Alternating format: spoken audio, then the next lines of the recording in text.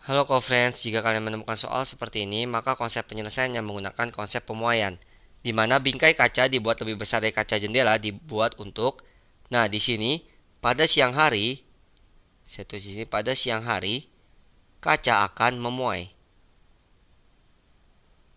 Karena pemuaian ini terkena panas, maka disediakan ruang untuk bingkai kaca untuk menempatinya.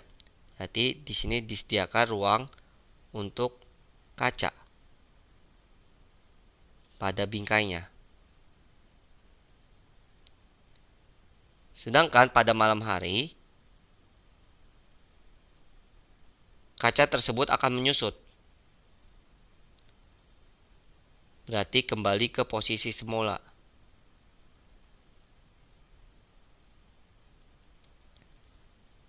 Sehingga ini dimaksudkan untuk pemuaian. Berarti bingkai kaca dibuat lebih besar dimaksudkan agar saat memuai terdapat ruang untuk kaca pada bingkai. Berarti mengantisipasi pemuaian kaca pada malam hari ini salah karena pada malam hari penyusutan mengantisipasi penyusutan ini salah bukan mengantisipasi penyusutan.